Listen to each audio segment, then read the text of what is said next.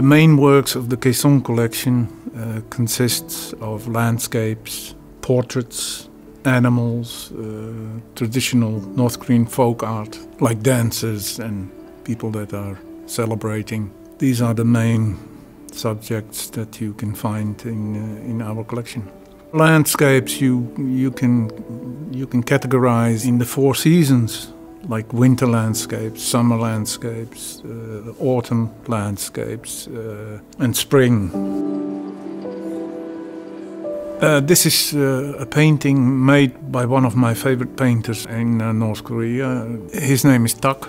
He is considered a very talented uh, painter. What was uh, special is that, uh, considering the, the, his age at the moment when I was in, in Korea, he was compared to the top level other painters, he was very young. He balanced a little bit on the, on, on the limit of what was uh, allowed and what was not allowed. He's showing less details than other painters. He's more giving you uh, uh, an impressionist view of the way that he looks at, uh, at nature. Uh, we have quite a lot of his work in the collection. Well, the general uh, way of, of, of, painting in North Korea is, is based on, on naturalism as natural as possible. This is the way that they are being taught how to work.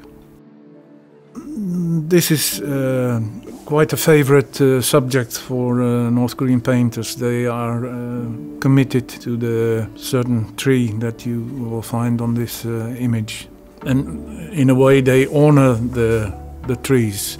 These go up to uh, ages of uh, seven, eight thousand years, which in their point of view is, is something incredible.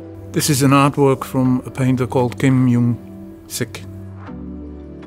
The name of this particular painter is Moon Wa Chung. He uh, was specialized and famous for the way he could paint streams, uh, rivers. His technique is, is of a, of a very high level, and it was especially admired by the director of the National Museum in, uh, in Vilnius. It's difficult to paint streaming water, and he was extremely good at it.